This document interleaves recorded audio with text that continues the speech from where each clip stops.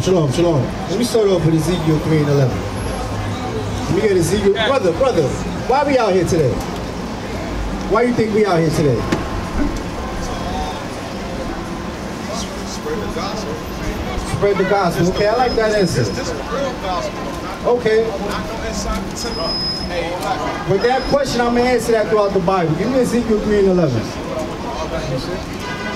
The book of Ezekiel, chapter 3, verse 11. And go, get thee to them of the captivity, unto the children of thy people. It says, go, get to them of the children that are in captivity of thy people. Who are God's people? Who are the people that's in captivity? And who are thy people? The oppressed. The oppressed. And who would that be? The hood. The, the, The minorities. The, What, un, what the nationality of people would you say that is? Black, Hispanic, uh, and, uh, I'll say black and Hispanic for right Black now. Hispanics. Correct, correct, correct. Now the question is, think about it right now. They got all the people that's out right now, but only you're the one that wants to listen. Do you know why? Do you know why? We'll prove it out the Bible. Give me Isaiah 6 and 9. Why is it right now? Think about it. It's a busy Saturday afternoon. It's 1.30 right now. You're the only one that's sitting right here that wants to listen. Why is it? Why is it designed that way? Isaiah 6 and 9. I, I got a mic. Isaiah chapter 6 and verse 9. You know. And he said, Go and tell this people, hear ye indeed, but understand not. So it says go. We're commanded go. Teach the people. Hear ye indeed, but what? But understand not. But uh, understand not. Why?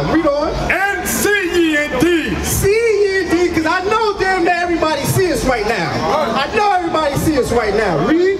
But perceive not. But perceive not. Why? Make the heart of this people fat. What? Make the heart of this people fat. Keep going. And make their ears heavy. God is saying, don't teach the people, but I don't want them to hear. Why is that? Read on. And shut their eyes. Why? Lest they see with their eyes and hear with their ears and understand with their heart and convert. and convert. God is saying, go, teach the people. But I don't want them to hear unless they want to repent. Then they can come hear this word. Okay? The question is, are you willing to repent? You willing to repent? Give me Jeremiah 3.25. Because we got to think about what's going on right now. The state of our people. You understand? We got to look at us as a whole. A lot of people, they say, oh, I'm good. Okay, if you good, fine. What about your people? What about your nation? No. Alright? You can't always just be just for self. Be what you got. Jeremiah chapter 3 and verse 25. We lie down in our shame, and our confusion covereth us. We lie down in shame and confusion covers over us. We're shame. Why? We're the last hired, the first fired. We live in dead projects with roach and ratchets and bed bugs. Look it up. Okay? That's shame. You got somebody else, hey, you got roaches? You know what I'm saying? What you gotta eat? Because even in our house, we're in a low state and a low income where it's hard to, to feed a full family. You see what I'm saying? And we're in confusion. Why? Why are we in confusion? Because think about it today. We march, we vote, we protest, but has that helped us? Why that hasn't helped us? It's going to tell you why, but I want to know why. Why that hasn't helped us? It's, it's, it's, it's, it's spiritual warfare. Finish reading. For we have sinned, For what? for we have sinned against the Lord our God. We have sinned against the Lord our God. Now you got to think about it. How have we have sinned against the Lord our God? You got to think about it. What has a nation? Finish read what you got. Finish reading. Against the Lord our God, Uh-huh. we and our fathers, from our youth even unto this day. So we've been generational sinning. Okay, we've been sinning after sinning after sinning. How? Why? We'll go over, we'll go over a little history. Think about what just happened today. We got a new president, right? Right? Now, did you vote? You voted. Okay, okay. Do you know that? Do you know that was a sin? To Do you know that was a sin? Yes. But it felt like it It felt like it. Why you say it felt like it? because I'm not supposed to go into vote confused. Let's get Confusion is of the devil.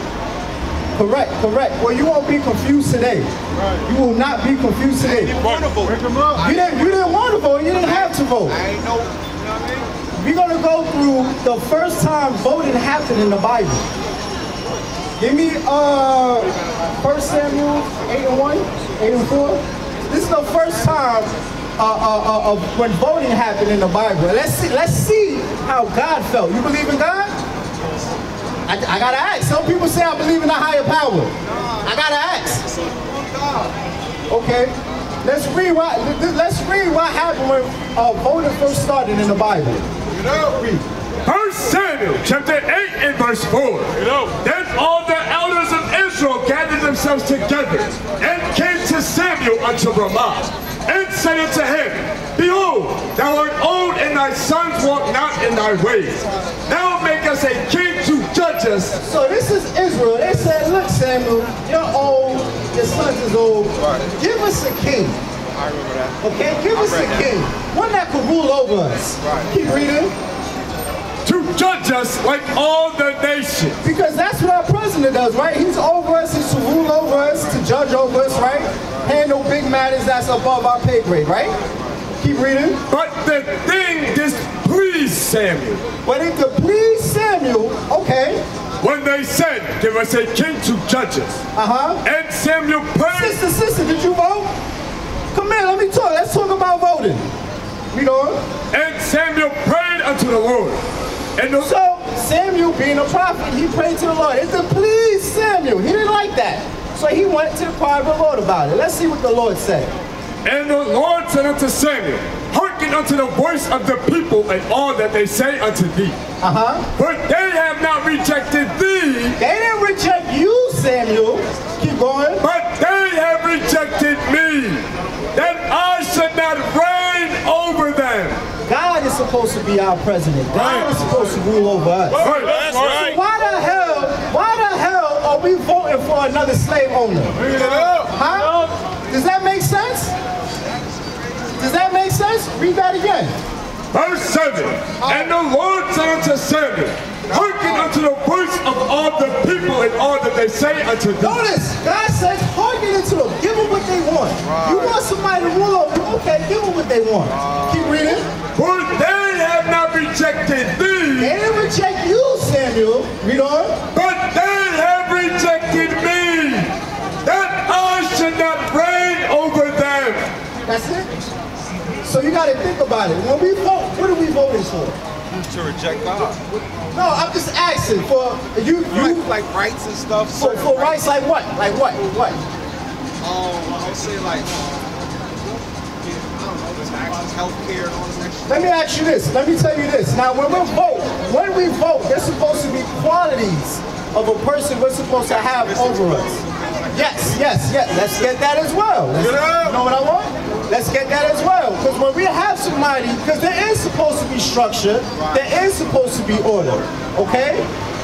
So let's get what type of man, what type of qualities we're supposed to have to rule over us. Read what you got. Deuteronomy chapter 17 and verse 15. You know, Thou shalt in any wise set him king over thee, uh-huh. whom the Lord thy God shall choose. God is saying, you set over a man who God who chooses. You want to set up a king, you gotta be one who God chooses. Read on. One from among thy brethren One from among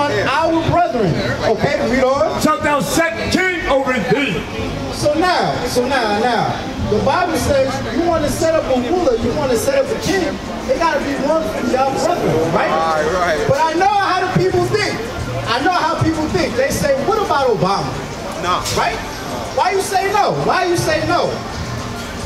man, it was too many, too many political figures involved, like the House, the Senate. It was too much involved. He wasn't ruling nothing. Well, what is one law? What is one law that Obama passed? Because you think about it. If a person says, look, we got what we wanted. We had a first black president, right?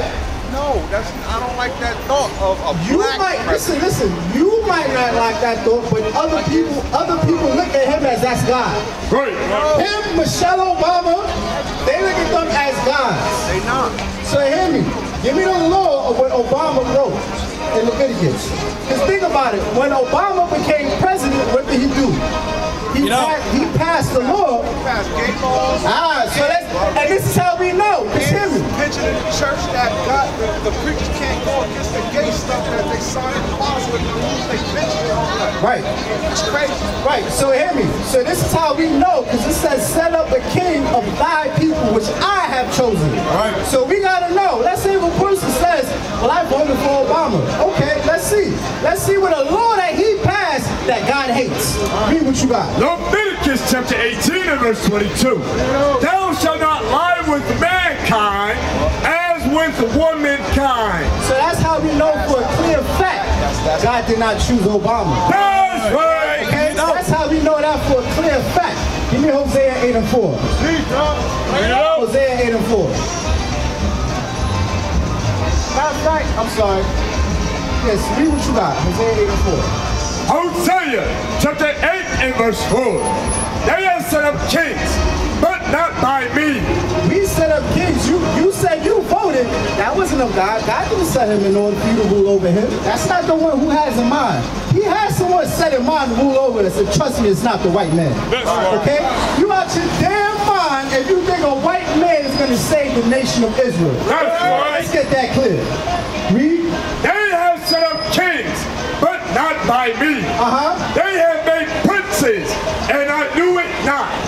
God says, I need them not.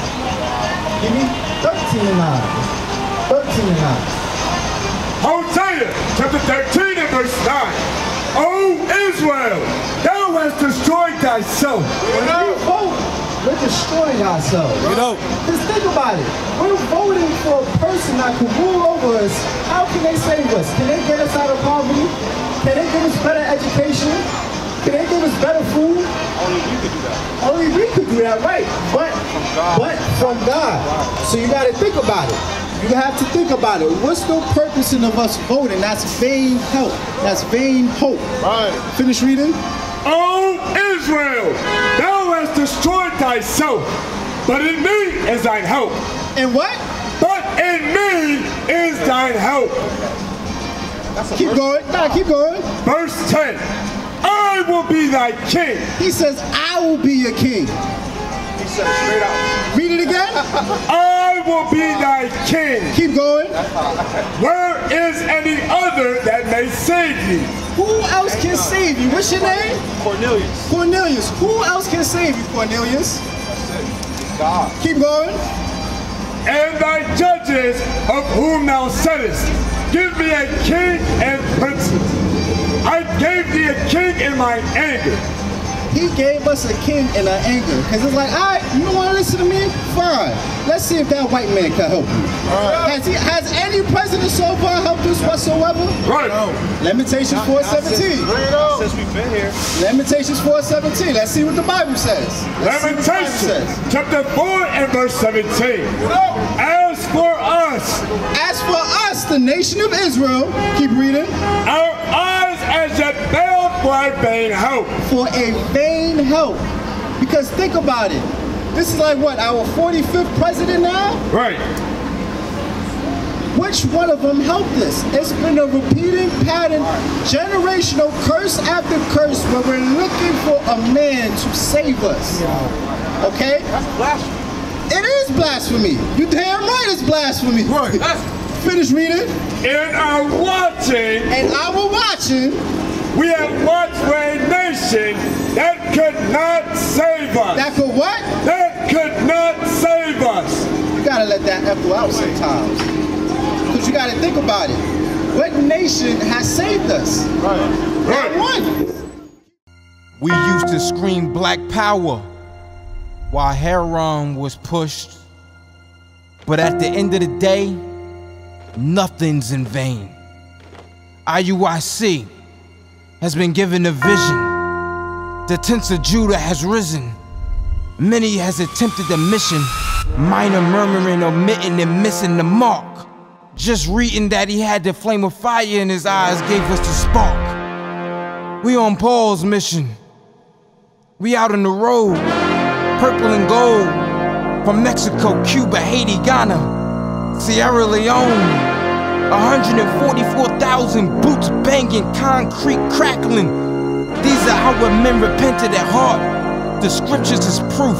IUIC, we deliver the truth.